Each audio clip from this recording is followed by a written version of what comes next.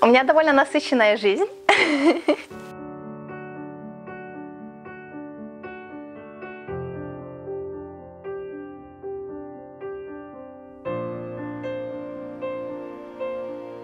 Многие друзья спрашивали меня, не боюсь ли я лететь так далеко.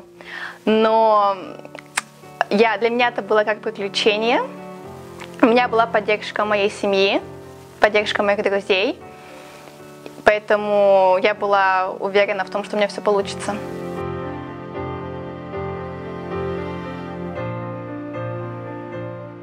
Как только я приехала в мою семью, куда меня поместили от школы, мы пошли гулять а, в очень известный парк напротив моего дома.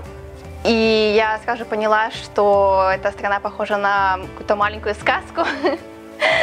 Но очень красивая, все только начинало цвести, очень отличается от того места, где я жила в России.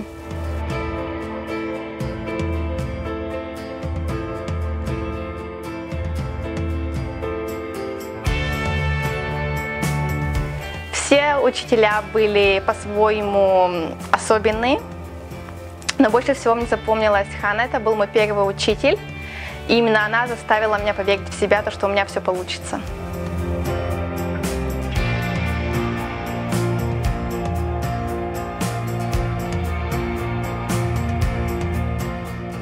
Нас было очень много интересных вещей, пока я училась, много интересных мероприятий.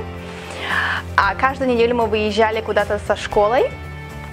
И вот однажды мы поехали на пляж.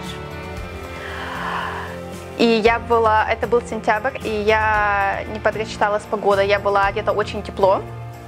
На мне были большие сапоги, и я, и нам нужно, там был момент, когда нам нужно было перейти через маленький ручеек, чтобы подойти к океану.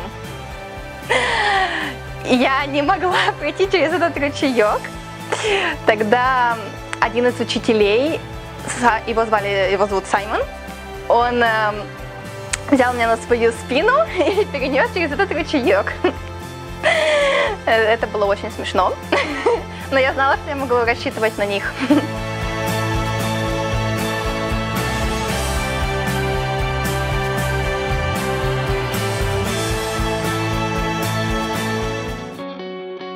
Он очень замечательный, заботливый, очень добрый, понимающий.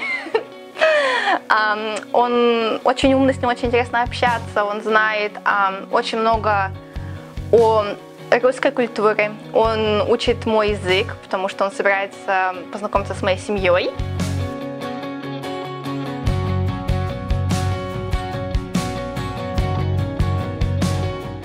Самое интересное то, что его зовут Энтони.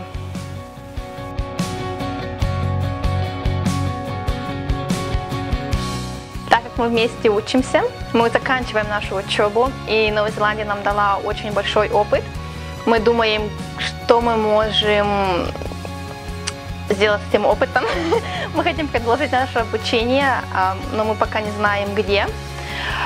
А, выбор стоит либо остаться в Новой Зеландии, либо уехать эм, в Китай, где мы можем выучить китайский язык, потому что это очень э, сейчас востребовано, либо уехать во Францию, потому что это родина Энтони.